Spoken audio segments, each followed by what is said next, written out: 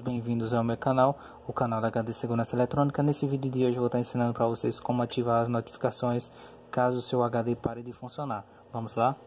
Primeiramente vamos aqui no menu principal do equipamento, vamos vir aqui em evento, vamos vir aqui na opção anormalidade, depois HD e temos aqui as opções de tipo de evento. Temos a opção aqui sem HD, tem a opção erro no HD e HD sem espaço. Para você ativar a função é, desejada, você deverá clicar marcar esse quadradozinho aqui. Logo em seguida temos a opção saída de alarme essa função só vai estar ativa para você caso você tenha um multibox. Se você ativar essa opção aqui, você pode ativar o seu multibox para quando acontecer alguma coisa no HD, acender uma lâmpada, uma sirene, alguma coisa. Isso só com multibox. Aqui essa opção aqui é caso tenha alguma coisa no HD, é, ou pare de de funcional, ele suma lá da configuração, você vai receber uma notificação na tela do seu equipamento informando o, o acontecido. Tem uma opção aqui de bip, caso o HD, se você marcar aqui, o HD der algum problema, ele vai ficar dando uns bip dentro do DVR informando que está acontecendo alguma coisa. Tem uma opção aqui, a alarme sonora. Esse alarme sonora é para é, você colocar um um som para tocar tipo uma sirene, alguma coisa. Esse você coloca para o pendrive, injeta no, no, DVR e salva. Aí pronto, eu vou ensinar em vídeos mais para frente como fazer essa configuração. Tem a opção aqui, a alarme upload. Essa função aqui é para você receber a notificação do acontecido diretamente no seu aplicativo SIC6 e SIC-Lite. Entendeu? Pessoal, deverá estar ativa tanto aqui como no seu aplicativo. Em breve eu vou estar fazendo vídeos informando como faz essa configuração do alarme upload dentro do seu aplicativo. Temos a opção de registro, ele vai registrar dentro do, da configuração do DVR os acontecidos e hora, data que o HD parou de gravar. Aqui tem a opção é enviar por e-mail. Essa função aqui ele vai enviar uma notificação para o seu e-mail do, do ocorrido, mas para isso deverá estar cadastrado no equipamento o seu e-mail e todos os dados certinho, entendeu pessoal?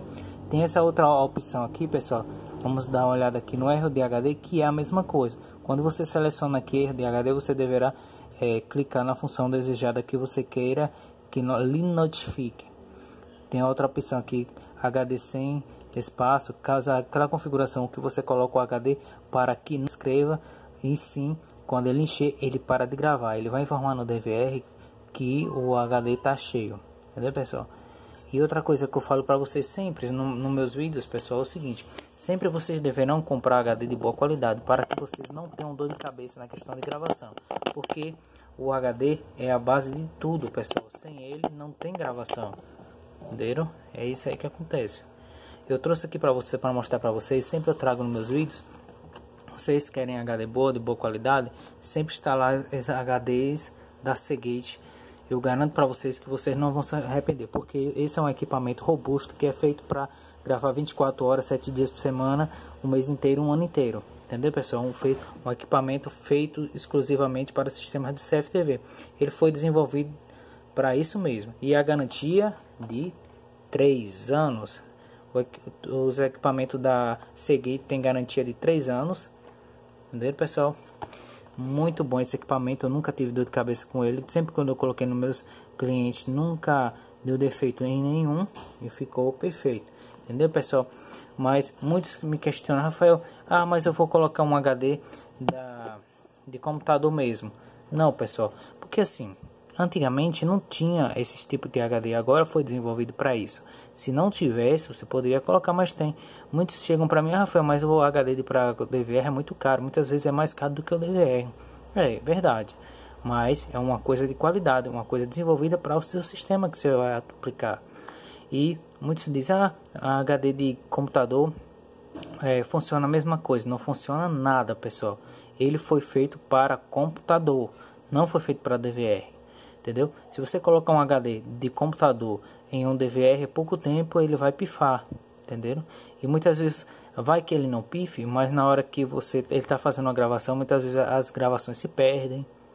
Você vai puxar uma gravação, a imagem fica bugando, muitas vezes vem em câmera lenta, muitas vezes, ah, será que a câmera gravou em câmera lenta? Não, foi seu HD que está com problema, ele não está conseguindo gravar. Ele não foi feito para isso, por isso que ele fica gravando tipo que em câmera lenta entendeu?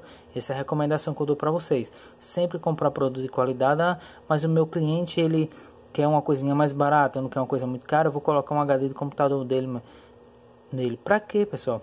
Que adianta ele estar tá investindo num sistema para gravar para quando ele precisar, se quando ele no futuro precisar daquela gravação e não ter gravação, às vezes roubar o comércio dele e não ter a gravação, de repente o HD parou de funcionar, mas muitos vão me questionar, ah, mas funciona a mesma coisa HD de computador, pois bote, a consciência é sua, quando acontecer alguma coisa, você que vai ser responsabilizado por, por ter colocado um HD de, que não é para aquela aplicação.